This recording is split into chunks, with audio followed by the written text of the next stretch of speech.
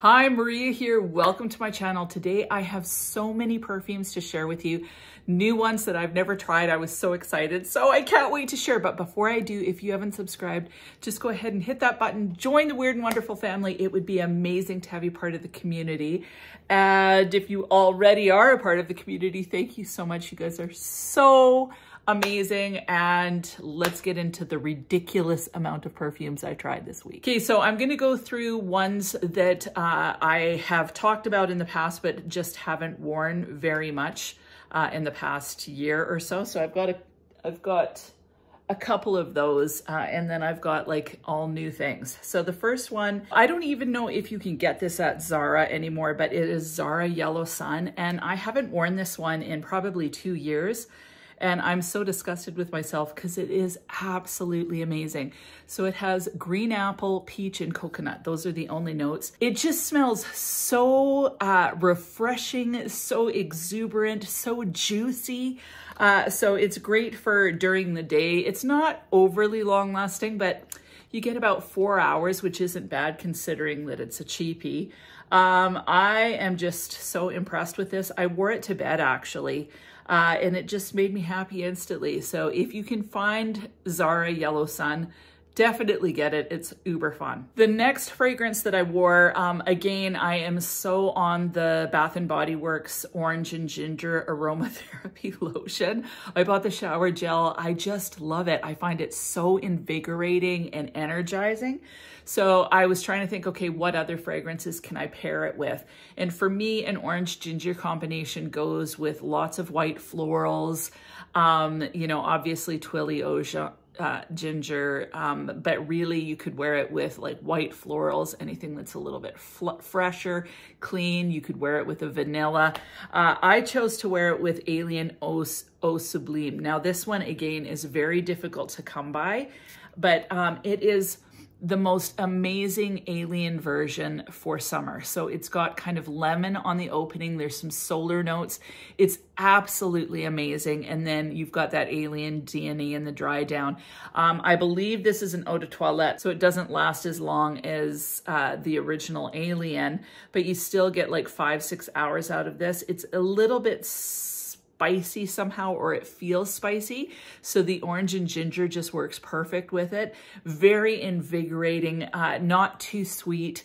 It's just perfect. So for summer and the hot weather, this that would be an amazing combination. Okay, the next fragrance that I wore was Ajwad by Lattafa. Now this has gotten a ton of hype on the internet. Uh, first of all, I really, I really love the, the bottle. Like it's kind of funky, kind of a little bit different.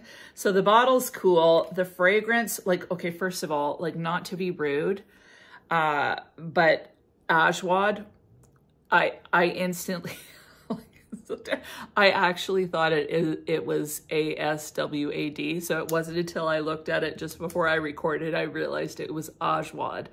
Uh, I thought it was Aswad, and all I could think of was Aswad. And so um, that kind of ruined things for me. I'm sorry, I know that's a bit crude, but the fragrance, um, it's it's jammy, but there's something in it that just doesn't agree with me. So there's some sort of sharpness in there. I find with Lattafas, a lot of times I struggle with this sharpness that I find. So same thing with the Bade'e Al Oud Amethyst by Lattafa.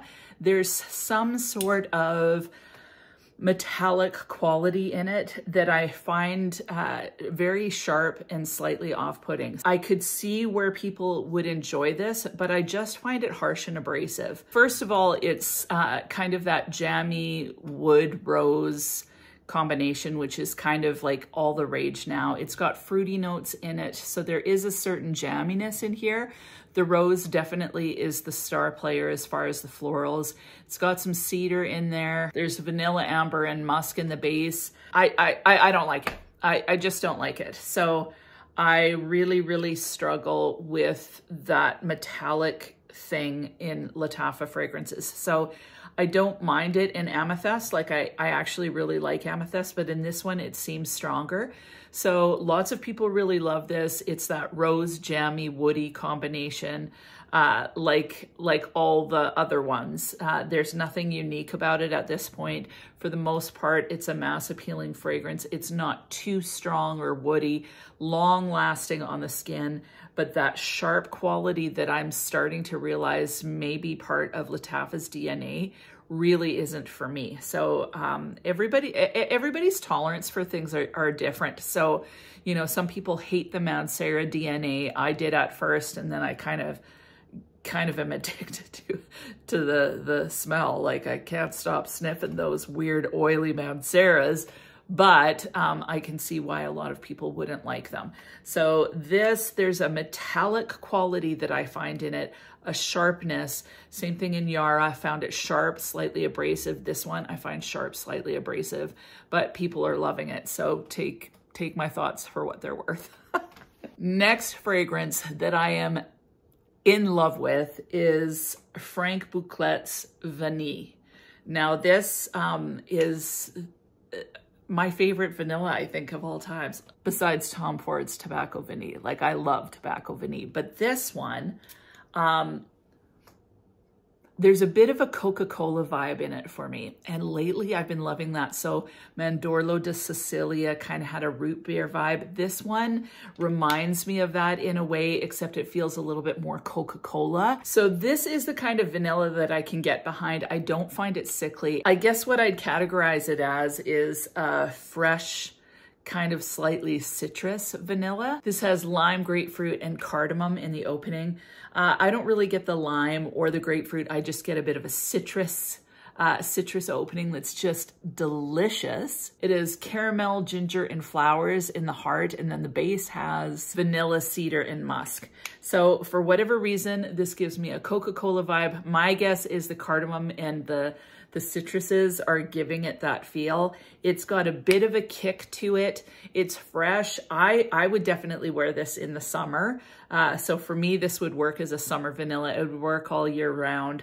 Uh, longevity isn't amazing on it. I think it was about five hours max, but I thoroughly enjoyed wearing this. So I highly recommend this one. Next new fragrance um, is Untamed Perfumes. They released a new formulation of Chocolate Earth. So I have the older formulation here, uh, and now I've got the newer formulation, and I love it. So my struggle with chocolate fragrances, I like them. Uh, so I really like Hugo Boss The Scent Private Accord. It's mixed with orange. It's light. It's short-lived. Uh, but it's not too chocolatey. So if a fragrance gets too chocolatey, I find it a little sickly. Like I don't overly enjoy it. So something like Chocolate Greedy, it goes a little too powdery, a little too thick. Uh, Cocoa Musk, I don't mind that one for a chocolate fragrance, but again, very short-lived. Um, but then there's some other chocolate fragrances where it just smells like a chocolate dessert, and that's not really my vibe. I don't mind it paired with a citrus or paired with, like, I'd love a chocolate raspberry fragrance. I think that would be amazing. But this is a chocolate fragrance that I can get behind. Oh, another one that I really love, eh, really, really love and enjoy is Chocolate Queen. So that chocolate kind of paired with the florals and just whatever other notes she's got going on there. Uh, it smelt somehow light and a little bit more airy. The older version, it had a lot of fennel and tarragon in it. So it was a lot more herbaceous and, and earthy. Uh, and that earthiness was uh, the the star player, and then the chocolate was underneath it. In this version, in the new version, the chocolate is the star player. So the notes are fennel pine and tarragon on top, on the in the heart, cedar moss, elemi mushrooms, and marigold. In the base, it has salted chocolate, fresh earth, fir balsam, maple sugar, oak moss, patchouli, and woods. As I was saying, the older version, definitely more the earth, the the fennel those came out a lot stronger whereas in the new formulation the the salted chocolate really comes through uh, it doesn't smell overly salty uh, but it is so delicious. The chocolate stays present on the skin forever. Like for the entirety of the perfume, I can smell that chocolate. Kind of deepens as time goes on. Uh, there's a bit of an airiness to it in the opening somehow and then it dries down to that delicious chocolate. The two things that are present the whole entire time is chocolate and earth. Uh, but the chocolate, like I said, is way more prominent. It's sweeter and yet somehow it's a little bit more bright. Uh, so I am in love with it. It's really addictive. Like I want to smell myself all the time when I have it on. Uh, it lasts forever on the skin. So I'm talking at least 10 hours, if not longer. I can't speak to the projection as of yet, but it feels like it's a little bit more close to the skin uh, than some of the other fragrances like my Greek Lover. Uh, this one, although it's a chocolate fragrance, I feel like it's something that you could wear all year round. Um, it's very different and it's very niche. So I've talked about this before. Sometimes niche can be mass appealing. Sometimes niche can be a little bit more nichey. So um, a little bit more different, maybe not so mass appealing. This one is so delicious, it, but it's interesting. So the earth component is still there and it's very, very different, but I love it. I what I'm finding is that more and more I'm really enjoying wearing fragrance for the experience that it gives me. So where a fragrance is slightly different, maybe not not everybody's cup of tea, but I just really am intrigued by it. I find wearing it to be an experience. I enjoy wearing it because it makes me think about things like the earth. It makes me think about the elements or whatever.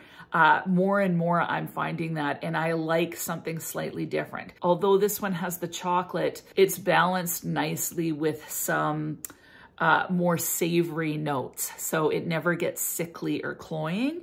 Um, yeah, I just think it's absolutely gorgeous. I, I am so blown away by this new formulation. The older formulation wasn't my cup of tea really because it was so earthy and it was just a little too earthy for me. Now the chocolate has come, come up, but it still has that kind of earthy stuff to ground it and make it less less cloying. Love it. So with the chocolate paired with things like mushroom and balsam and moss, that kind of stuff, it just, it's like it balances. Just like with a really sugary dessert, if you don't have any salt in it, it doesn't feel quite balanced. It just feels a little sickly.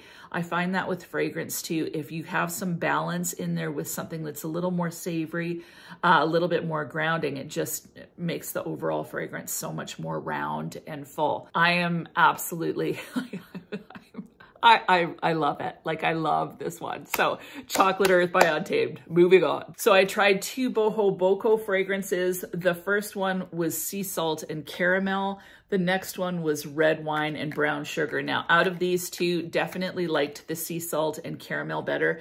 The red wine and brown sugar just wasn't my taste. Uh, the wine felt a little bit sour on my skin. Uh, it didn't last near as long on my skin. And overall, like I, yeah, it didn't speak to me in any way, shape, or form. So the red wine, it has red wine. It's got berries, dried fruit, raspberry, like all the things that I would think that I would be absolutely in love with. It's got cedar, patchouli, rum, brown sugar, leather, and caramel, but it just came across as, you know when wine has a bit of a sour edge, like a little bit of a tart edge? Uh, I feel like that's what comes through for me more than anything. And it kind of stays linear.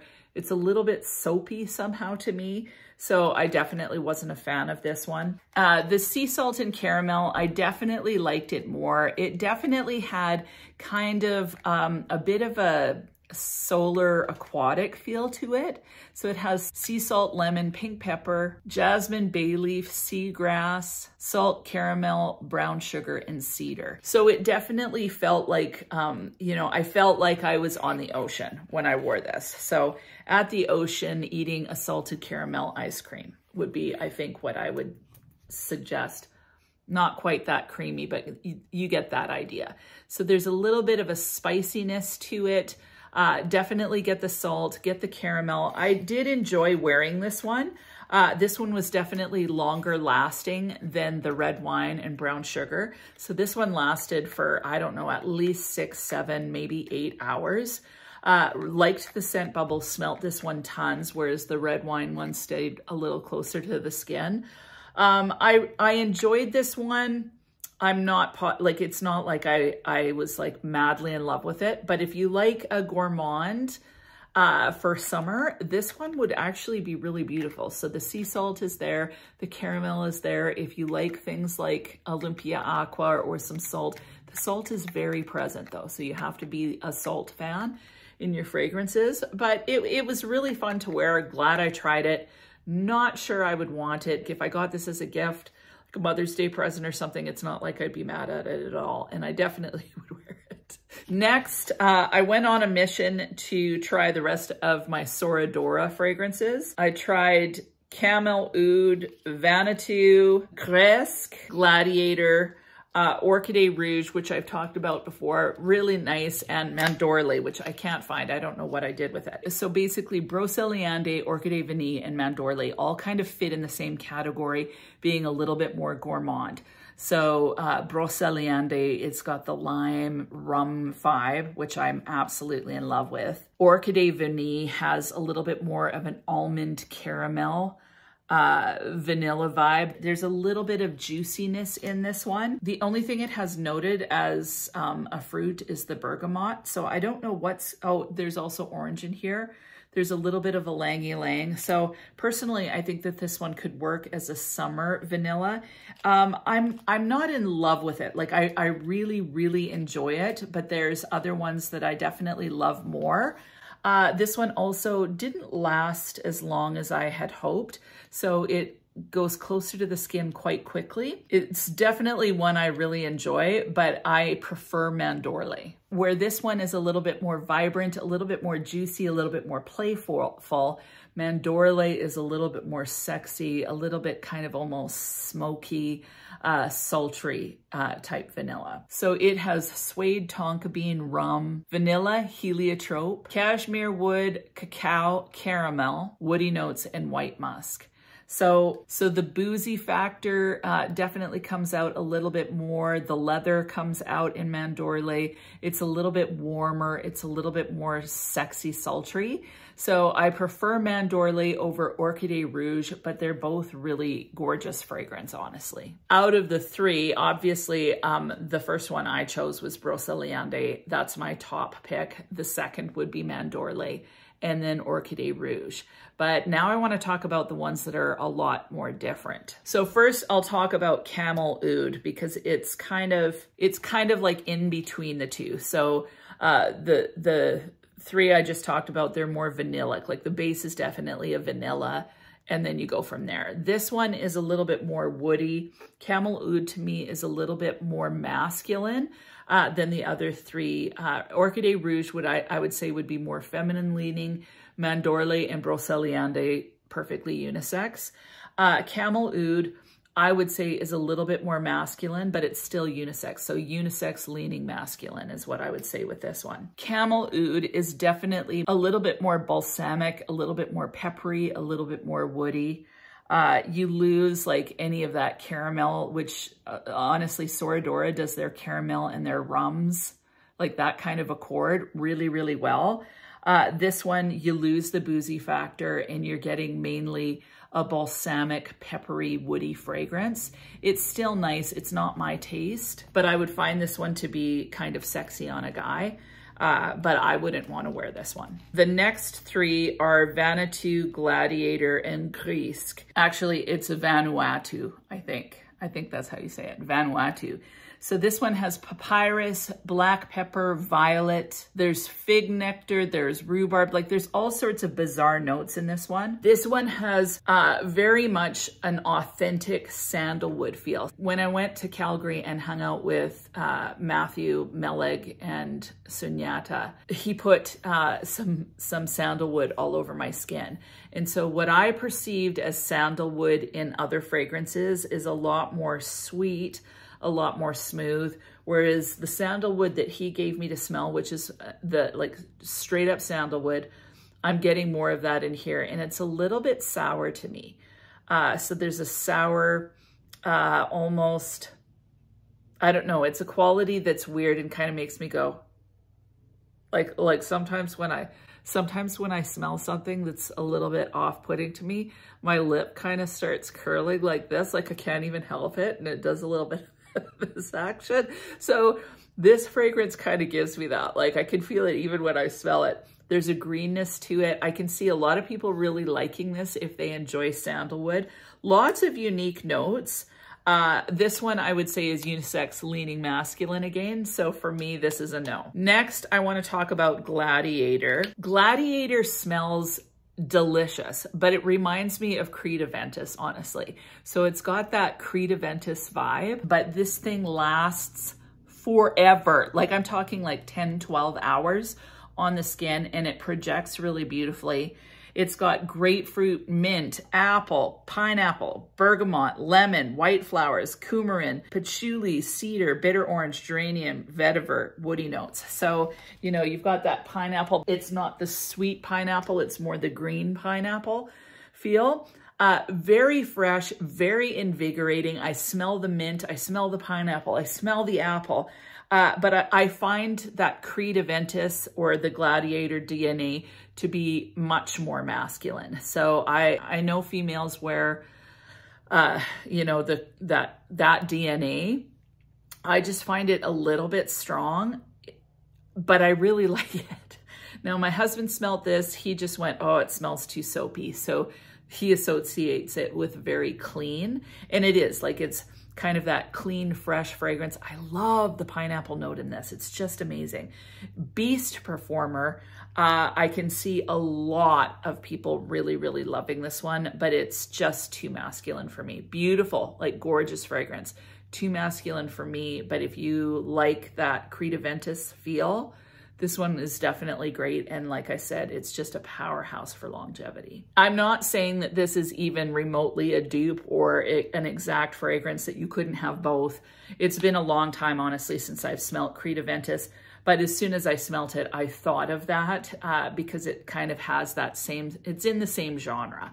So uh, really, really enjoy it. Think it's gorgeous. I wish I could get my husband to wear because I think it's uber sexy, uh, but not for me. Now, the last one was Greasque, and I saved this one for last because it is the most unique out of the bunch, in my opinion, and I am in love with it. It's the weirdest fragrance I've ever smelt, I think. Well, I've smelt some weird fragrances lately, but this one is so freaking weird. I can't even believe it. So it's got basil, is it basil or basil? I can never remember.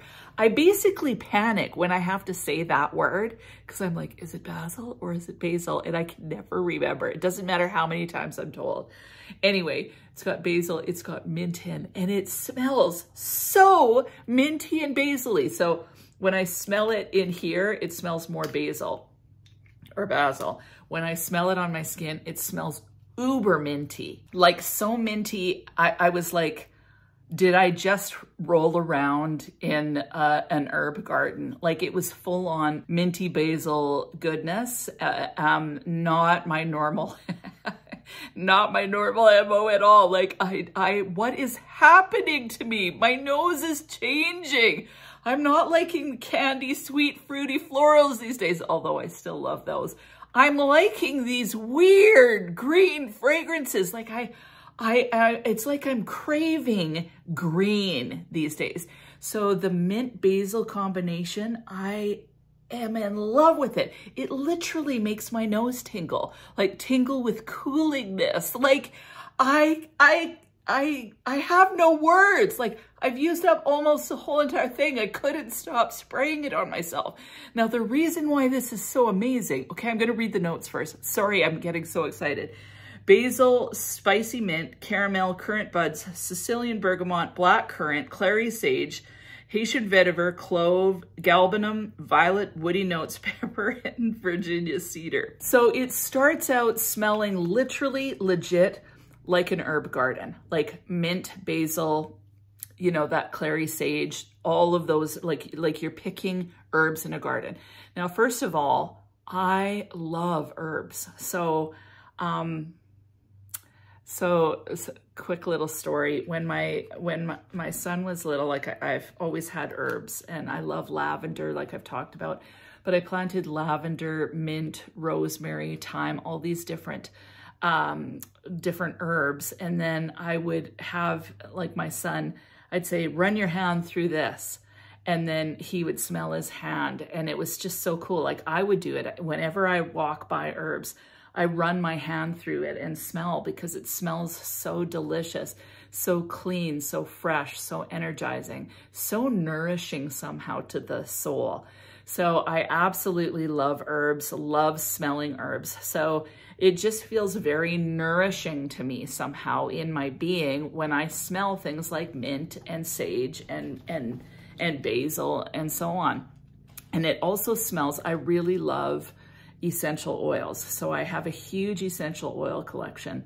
Let me know if you guys would ever be interested in seeing my essential oil collection because I've got quite a few, like I think I've got 15 or 20 large kind of bottles of essential oil. And I actually mix my own essential oils to put in diffusers. Uh, so if you guys would ever want a video on that, please let me know because I've got like tons and I can tell you how I mix them and all of that. But anyway, uh, love essential oils, absolutely love them. And so this felt very hippie-esque in a way uh, in the opening but then it kind of morphs and you smell vanilla caramel on your skin. So the, the greenness kind of dissipates, which is good because I can only handle that for so long. It lasts for about an hour and then it, and then it starts to become this caramel. Caramel starts coming up and uh, it becomes caramel prominent. So it sweetens up crazily on the skin. So it's like a savory and then sweet experience. So it's like you eat food and then you have dessert. It is the coolest thing ever. Is it for everyone? No. Is it for me? Absolutely. Like I, I am so, like, I just love this thing. So weirdest fragrance ever. It's like you're on a, an adventure of, of uh, deliciousness from the herbs and spices, herbs and balsam to all of a sudden having a delicious decadent dessert. Um, decent longevity on this, but not amazing. So about seven, eight hours. Uh, but it sits closer to the skin after about the first hour. So the, the greenness projects, uh, but then it starts to kind of mellow out. That said, for a summer fragrance, which is when I would wear this, uh, love the cooling scent sensation. Uh, love the fact that that cooling aspect is what projects. So for me in the summer in the heat, I would love that. Uh, but then as that sweetness comes in, it smells just like sweet caramelly, a little bit creamy feeling. That stays closer to the skin. So I get a beautiful, like small scent bubble around me. So I can smell little whiffs of it, not much, uh, but it's not too cloying. So it works in the summer. So this is honestly the most unique thing I think I've ever smelt. Uh, very weird not mass appealing at all, but I am absolutely obsessed with this thing. And that is it. That is my amazing week of adventures, trying on all sorts of new perfumes. The stands out, standouts for me would definitely be Greasque, uh, the Vanille from uh, Franck Boclet. Love that Coca-Cola vibe. And then the Chocolate Earth, like I'm totally in love with that one as well. All the other ones were fun to try, not necessarily my vibe. I definitely have three here that I, I'm absolutely in love with. So what about you? Did you try anything new? Uh, did something really stand out to you and you absolutely loved it? If you did, if you've got something like that, leave it in the comments. Would love to hear about it. And other than that, I hope you have an amazing week and we'll talk to you soon.